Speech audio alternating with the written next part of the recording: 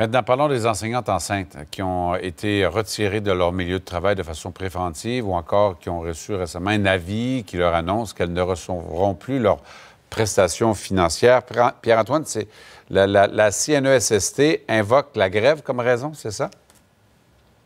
Oui, ouais, Michel. Et on peut euh, estimer qu'il y a un peu plus d'une centaine d'enseignantes euh, dans cette situation qui sont enceintes, qui ont été retirées de façon préventive de leur milieu de travail, qui sont dans cette situation et qui sont associées à la FAE. Parce qu'ici, au syndicat de la région de Québec, l'enseignement de la région de Québec, on estime qu'il y en a un peu plus d'une centaine là, qui sont dans cette situation-là et qui ont reçu le 8 décembre dernier un avis de la CNE-SST qui leur mentionne que leur prestation euh, ne sera plus versée et qu'elles doivent non seulement également rembourser la semaine du 23 au 30 novembre, le versement ont reçu. Ça, c'est la première semaine de grève euh, de la FAE, de grève générale illimitée.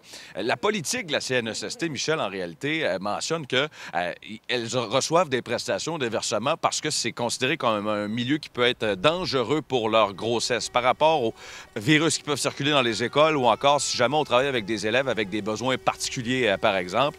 Et à ce moment-là, on reçoit prestation. Et dans la vie, on dit terminez la prestation et vous devez rembourser un montant qui peut parfois être quand même important, là, plusieurs centaines de dollars. Et dans certains cas, ça montre presque jusqu'à jusqu'à 1000 dollars.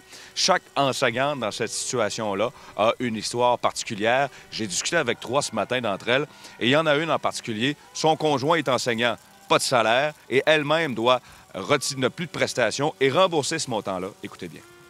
Mon cas, moi, euh, mon conjoint est enseignant aussi. Donc là, euh, ça fait un. Ça fait plusieurs, euh, désolé mon français, mais claques d'en face qu'on reçoit. puis là, c'est très anxiogène parce que justement, nous, notre premier bébé va naître au mois de février. Puis là, on se dit, est-ce qu'on va être prêt à l'accueillir au niveau financier? puisque là, ben, on a une perte de salaire des deux côtés. On a, on a du soutien de notre entourage, on a du soutien quand même, mais ça reste quand même une somme considérable et un stress ajouté. Les syndicats ont demandé aux enseignantes de contester cette décision administrative de la CNESST. On est en attente d'ailleurs d'une réponse de la CNESST. Merci beaucoup, Pierre-Antoine.